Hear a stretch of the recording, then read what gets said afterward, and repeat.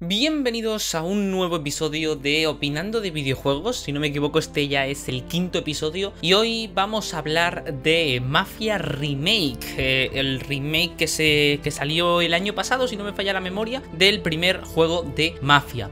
Un videojuego que me ha sorprendido, la verdad, porque eh, había visto algún vídeo y tal y tenía entendido que no estaba mal, pero lo que había oído mucho es que eh, al ser un remake habían ciertas cosas que estaban un poco... que se notaban un poco viejas. Y la verdad es que a mí me ha gustado mucho el juego. Me ha gustado muchísimo, tiene escenas de acción impactantes y está muy, muy, muy chulo. Pero bueno, vamos a hablar de una manera un poco estructurada. Me he ido conforme jugaba, he ido haciendo algunos puntos de cosas que me han impresionado o me han resultado recalcables para bien o para mal sobre el videojuego. En primer lugar, eh, un pequeño detalle y es que el videojuego me ha recordado muchísimo a L.A. Noir en su estética de los años, pues no sé en qué época está ambientada, no sé si son los años 20, 30, pero bueno, por ahí. Me ha recordado mucho a esa estética, los vehículos vehículos, la música también que suena a veces me recordaba mucho a la de Noir, aunque en mi opinión este me ha gustado más, me ha gustado bastante más que Noir, porque Noir se me hizo un poco pesado. Este no, con el dinamismo de los tiroteos y tal, me ha parecido un juego muy chulo y muy muy muy bien ambientado. El único pequeño detalle tal vez es que la radio tiene música, pues eso,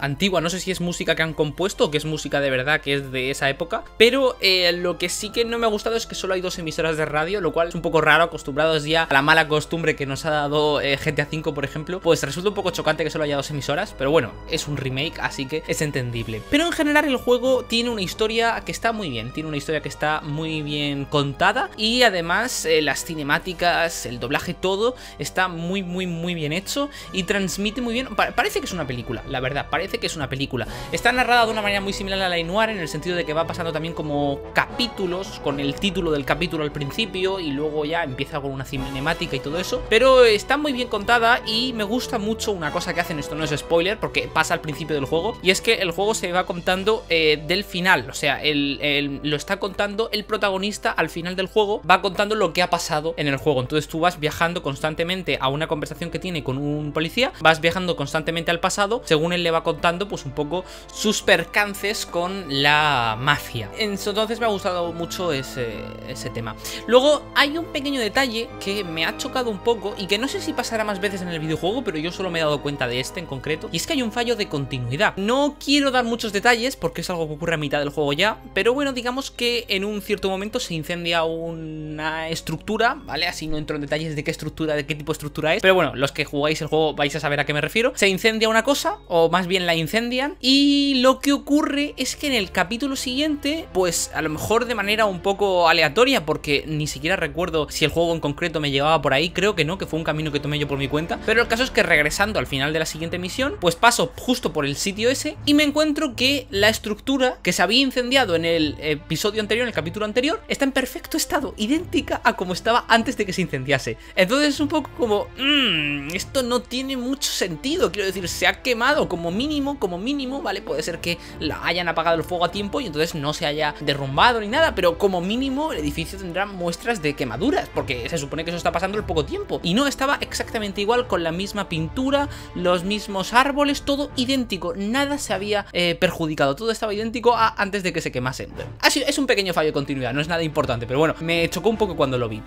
Y eh, los eh, gráficos, ya pasando a este apartado y tal vez algo de lo más destacado de este, de este videojuego, de este remake, es que los gráficos son alucinantes, están muy bien hechos, los coches se ven increíbles, la ciudad se ve increíble a todas horas, tanto de día como de noche, luce de una manera impresionante, los personajes también, y en general es un juego que, por ejemplo, no tiene bugs gráficos, no me he encontrado con ninguno, que es algo que suele pasar, ¿no? En estos juegos tan realistas suele pasar algún pequeño detalle con las físicas o algo que choca un poco, no, no me ha pasado en ningún momento, todo está muy sólido, lo único, bueno, pues a veces, en algunos momentos, sobre todo con las cinemáticas, curiosamente, y no durante el gameplay, pues he tenido un poco de tearing, ¿vale? Es, eh, la pantalla se veía un poco, pero bueno, nada importante, ¿vale? Tened en cuenta que lo he jugado en una PlayStation 4 Slim, entonces muy pasable el hecho de que durante el gameplay haya sido todo perfecto y simplemente haya sido en algunas cinemáticas y tal, momentos muy puntuales, así que yo no le doy importancia. Solo ha habido un momento en el que en una misión se me fue la cosa un poco de las manos y me empezó a perseguir más policía de la que yo pudiese contar, o sea, demasiada gente detrás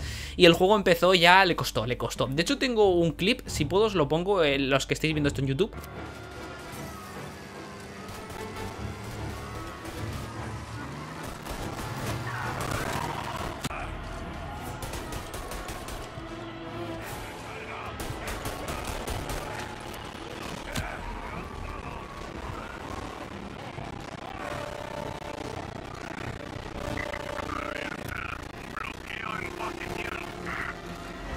Pero bueno, empezó el juego ya a rascar un poco y de hecho la música se descoordina y, los frames bajan un montón. Pero bueno, fue un momento muy puntual porque había mucha policía detrás y es algo que no estaba planeado por la misión. Simplemente fue que yo fui por el camino incorrecto, me choqué y entonces empezó a venir toda la policía detrás mía, a lo mejor 20 coches de policía y el juego dijo hasta luego, ¿sabes? Yo más no puedo. Pero dejando a un lado eso, los gráficos están muy bien, los modelos están muy bien y las cinemáticas tienen ese toque peliculero con la musiquilla, los planos, la iluminación que también está muy bien. Está genial, o sea, es un juego que está genial y que mm, en momentos podría ser una película. Está, hombre, bebe mucho del cine de mafia, entonces eh, hay muchos elementos que, sobre todo a los que más aficionados seáis ese tipo de cine, porque yo no lo soy especialmente, pero los que más aficionados seáis y más películas hayáis visto, vais a encontrar muchas referencias seguramente a la mafia, al padrino, bueno, a todas estas películas, y está muy bien, la verdad, está, está genial, y yo creo que es un juego que puede disfrutar todo el mundo, ¿sabes? Incluso gente que no sea muy fan de los videojuegos se lo puede poner en fácil y yo creo que puede pasar un muy buen rato. El control es muy bueno, me ha gustado muchísimo.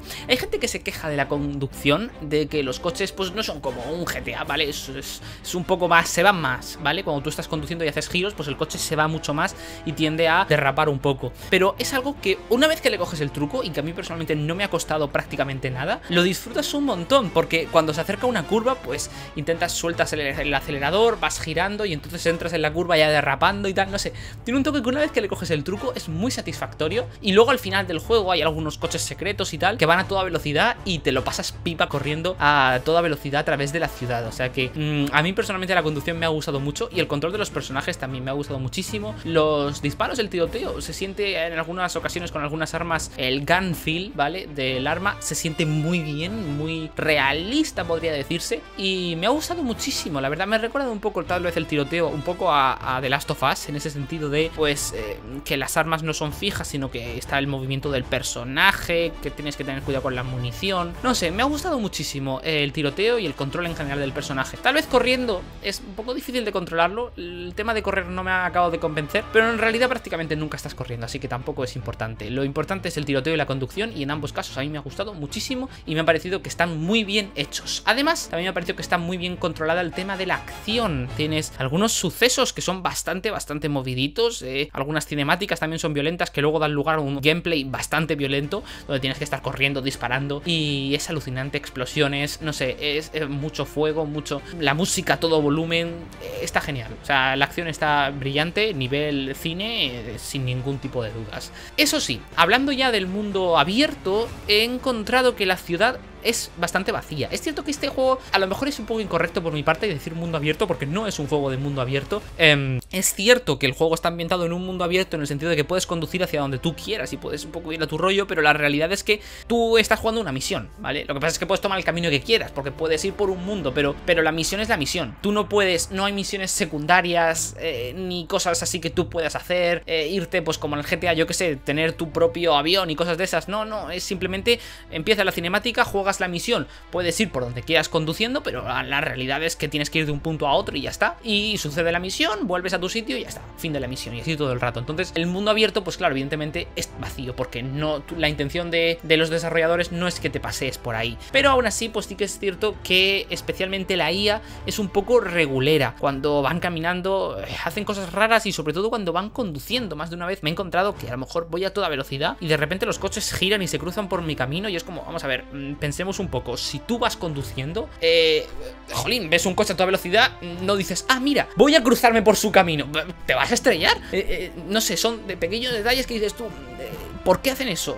Coches que de repente van en línea recta contigo y de repente dicen, voy a girar a la izquierda, ¡pum! Y te dan, y es como, ¿pero qué haces? Entonces, hay ciertos detalles en la inteligencia artificial que son un poco raros. Y sí que es cierto que, eh, pues parece mentira, ¿no? Un juego tan currado gráficamente podría tal vez perder un poco de gráficos y mejorar un poco la inteligencia artificial que en algunos momentos y en los combates, por ejemplo, también me ha pasado, estamos en medio de un tiroteo, eh, me viene un enemigo por un lado, le mato, viene otro enemigo por el mismo lado, le mato, viene otro enemigo por el mismo mismo lado. O sea, recuerdo una escena en concreto en la que empezaron a subir todos por las mismas escaleras. Todos, a lo mejor 5 o 6 enemigos por las escaleras. Y yo con una escopeta al final de la escalera, ¡pum! Muerto. Y el siguiente que le ve caer por las escaleras dice, voy a subir yo también, ¡pum! Muerto. Y así me los cargué. Y es como, pero a ver, hay unas escaleras, hay unas escaleras a la izquierda. ¿Por, por, qué no cambian de escaleras? No, todos subían por las mismas escaleras. Son cositas, ¿no? Cositas, cositas, cositas. Que a ver si ahora con esta nueva generación se cambian. Porque la IA a veces ya empieza a cantar un poco. Y aunque sea un remake, esas cosas sí que se pueden cambiar. Porque es un remake, pero la inteligencia artificial la puedes tocar, no pasa nada. Eso da lugar a los bugs. He dicho que no había visto bugs gráficos, lo cual no significa que no haya visto bugs, eh, bugs, ¿vale? O sea, glitches y temas de eh, en el gameplay. Y en concreto hay dos, eh, me he encontrado con varias cosas, pero en concreto hay dos que tengo capturas también.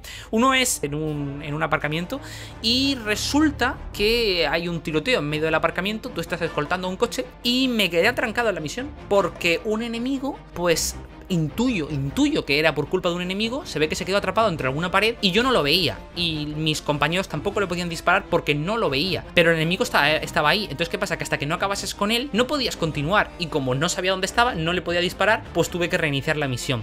Muchos juegos lo que hacen, cuando ocurre algo de esto, por si acaso, si el juego detecta que uno de los enemigos se ha quedado atrapado en alguna pared o algo y tú no lo puedes ver, o tardas mucho en matarlo y solo quedas enemigo, por seguridad lo que hacen los juegos es que le matan. Automáticamente matan al enemigo. Dices tú, vamos a ver, solo queda un enemigo y no lo encuentra, lleva dos minutos sin encontrarlo, matar al enemigo que queda, ¿vale? Esa me parece una muy buena salida a ese tipo de detalles. En este contexto no pasó, me di varias vueltas y al final tuve que reiniciar la misión, que afortunadamente había un punto de control hace poco, eso es algo que comentaré después, así que no pasó nada, pero, pero choca un poco, ¿no? Ese tipo de errores ya manchan un poco la experiencia y ya no se ve tan pulido.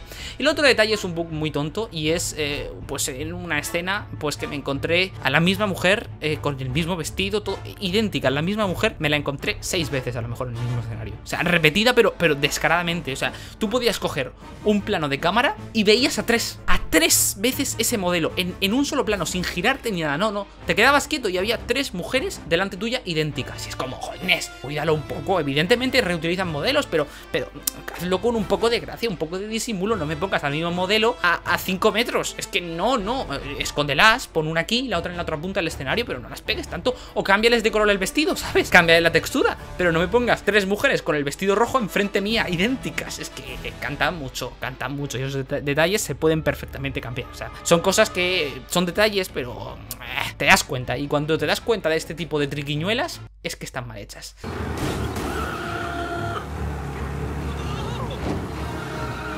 Falcon Punch! la búsqueda. Repito, retirada. Bien. Regresen a sus Eres toda una mujer, ¿eh? Acércate un paso más y te arranco los ojos. Habéis cometido un grave error hoy. Me gusta cuando te cabreas, ¿sabes? Por eso vengo a por más. ¿Tenéis idea de con quién os estáis metiendo? Con un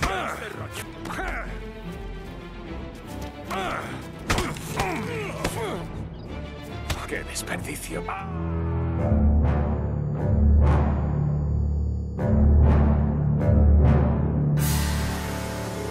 Ya terminando, simplemente me gustaría comentar la música. La música está muy bien, como he dicho antes, eh, muy buena acción. El tema principal me gusta mucho. De hecho, lo tengo en Spotify y me lo he guardado porque me gusta muchísimo cómo suena. Muy ahí, eh, mucha acción. Te transmite muy bien en todo momento la música lo que está pasando, o sea que está genial. Y muy bien doblaje también.